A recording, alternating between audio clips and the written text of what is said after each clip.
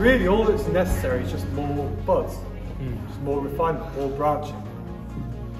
Okay, the, the fundamental structure of the tree is fine.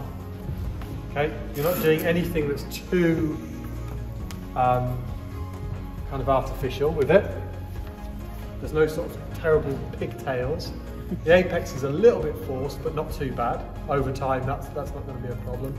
You've got one strong branch up in here, which could be a bit of an issue. But, but generally, the structure is really nice. You just need more buds. yes, Just need more ramification.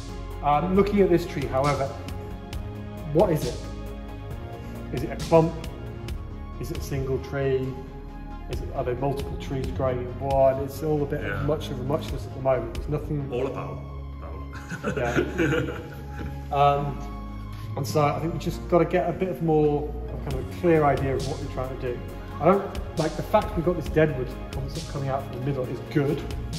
You will see like oak trees with pieces of deadwood in the beech as well, uh, and things like that. But we've got to get some definition into the, the branches which remain. The deadwood feature in the middle isn't overpowering. The nebari, the way it flares out, is, is great. The fact it's fitting into this tiny little pot, phenomenal. The only thing is just how do we get the density of the foliage? Don't ever be afraid of cutting the branches off, because what you can then do is move the other branches around, spread them out so they've then got space to grow into. The other thing that this tree really needs is what the first plank is, it's just that density, that, that growing, um, building up the, the, the bulk. Okay? You want to ask about shortening the leaves?